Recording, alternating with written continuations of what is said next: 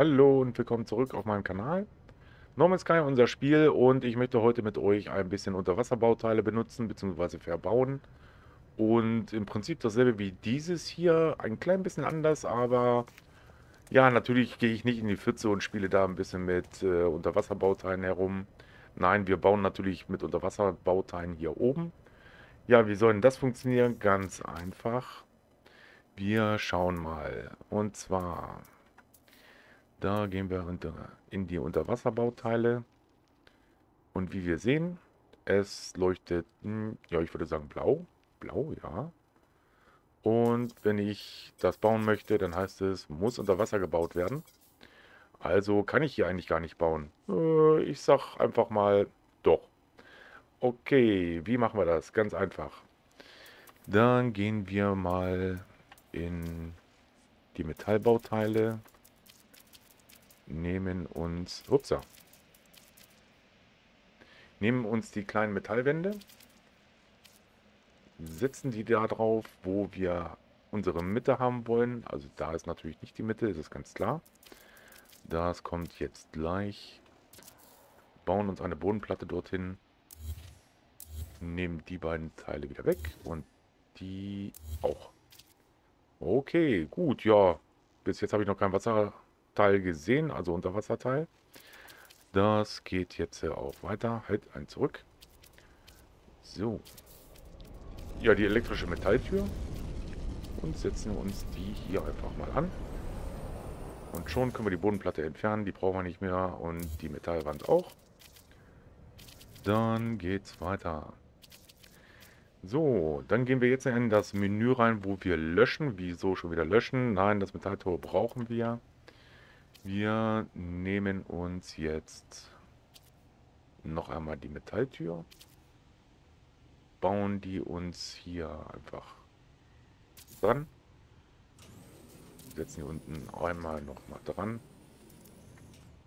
und schon können wir wieder löschen. Ja, unsere Lieblingsbeschäftigung ist eigentlich löschen, also das meiste, was wir bauen, löschen wir. Ich versuche es so einfach wie möglich zu halten und dementsprechend, dass ihr das dann auch nachbauen könnt. So. Dann bauen wir uns hier die Metalltür, beziehungsweise wir wechseln auf das Tor. Na, so allerdings nicht. Na gut, jetzt kann das nicht noch einmal passieren. Auch eine gute Sache. Und das sollte so nicht sein.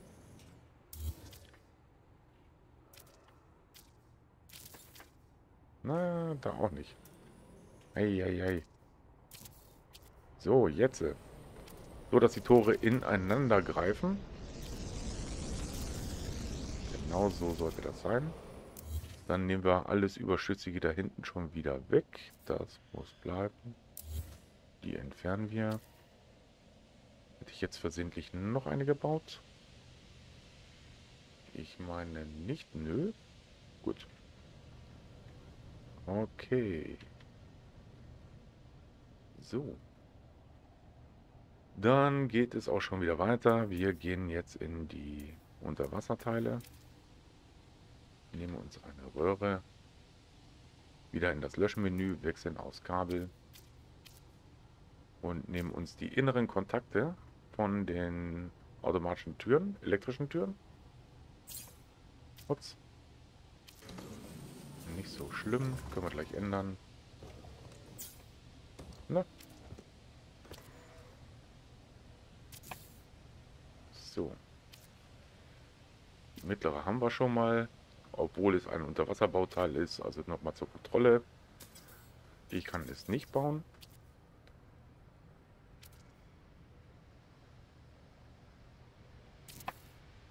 So.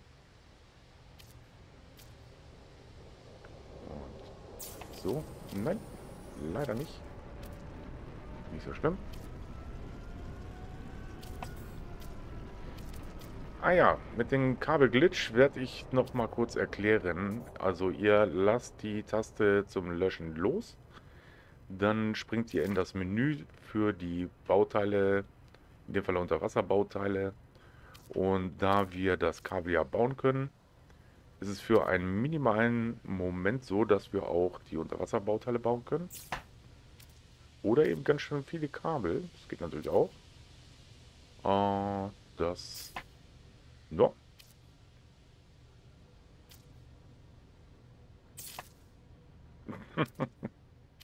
Schön. Na. So, jetzt aber nochmal hier. Was ist jetzt los? Ja, ich kann ja die Teile gar nicht bauen. Doch, doch, ich bin im Kreativmodus und im Kreativmodus muss ich die Bauteile nicht haben. Wenn ihr in allen anderen... Was ist jetzt denn los? Hallo? Wenn ihr in allen anderen Modis so bauen wollt, dann sieht es so aus, dass es vorhanden sein muss. Jetzt. Okay, jetzt nochmal die inneren Kontakte miteinander verbinden. Okay. Und die Metalltore können wir jetzt löschen. Und bauen uns natürlich auch noch einen Eingang. Ein Eingang wäre schön, dass man auch rein kann, weil die sind ja jetzt momentan zu. Halt die Rodotür einmal dort und einmal dort. Ja, und offensichtlich ist das Ganze hier unter Spannung und unsere Rodotüren leuchten trotzdem nicht. Ja, Sie werden auch nicht leuchten, auf gar keinen Fall. Zumindest habe ich keine Möglichkeit dazu gefunden, alles mögliche ausprobiert und leider nein. Aber wir wollen natürlich auch Beleuchtung haben. Es soll ja ein bisschen schick aussehen. Und das machen wir dann. Erstmal hier weg. Also es lag auch nicht hier an den Kabeln, dass wir dort Spannung haben. Also dass es blau ist und unter Spannung ist, sondern ja, ich weiß nicht, keine Ahnung, die sind halt einfach so. So, jetzt nehmen wir einfach mal verschiedene Farben. Welche finde ich denn ganz schick? Ja, einmal die. Gehen wieder ins Löschmenü, Kabel her. Und setzen uns die hier an die Kabel, die wir ja noch drin haben. Nein, nicht dahin. Eieiei.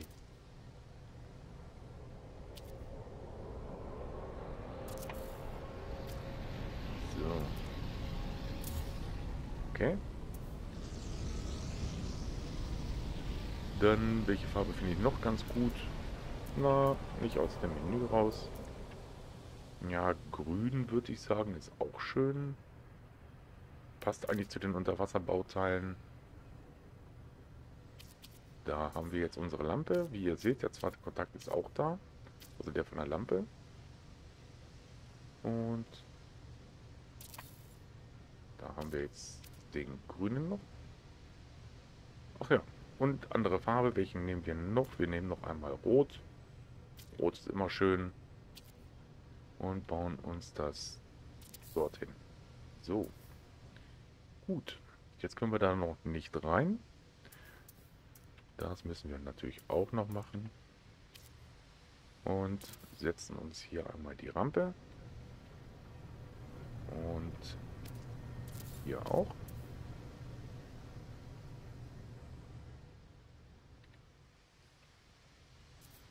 Und wie ihr seht, wir sehen hier den Schein der Lampen. Finde ich übrigens sehr schön. Und wir gehen da jetzt einmal durch. Genau, einmal durchgehen. So. Ja, ist natürlich ein ganz anderes Feeling. Ist eine schöne Sache. Gefällt mir sehr gut. Und zum, uh, zum Abschluss möchte ich hier allerdings trotzdem noch eine Kleinigkeit machen. Ich möchte hier, so wie dort drüben, die Lampen noch benutzen und sozusagen ein, ja, ein Geländer bauen. Ja, wir haben ja noch reichlich Zeit, alles ist gut und dementsprechend geht es jetzt los. Lange Rede, kurzer Sinn. So. Ups, da. Für solch einen Fall benutze ich eigentlich hier so die... Na, das ist jetzt ungünstig. Moment, so, besser. Benutze ich die Kanten und zwar, dass es ziemlich offensichtlich ist, dass es die Kante ist, falls das Bauteil mal verschwindet später. Aus welchem Grund auch immer, Platte versehentlich weggenommen, also den Boden weggenommen. dann könnt ihr die Lampen so wieder hinstellen, wie sie vorher waren. Keiner wird es sehen. Und so dicht wie möglich an die Rampe dran. Ja. Und ihr braucht euch auch nicht ärgern mit, wenn es krumm wird oder ähnliches. Also umso genauer ihr da seid, umso besser ist das. Und das machen wir hier hinten jetzt auch noch einmal. Noch ein bisschen drehen.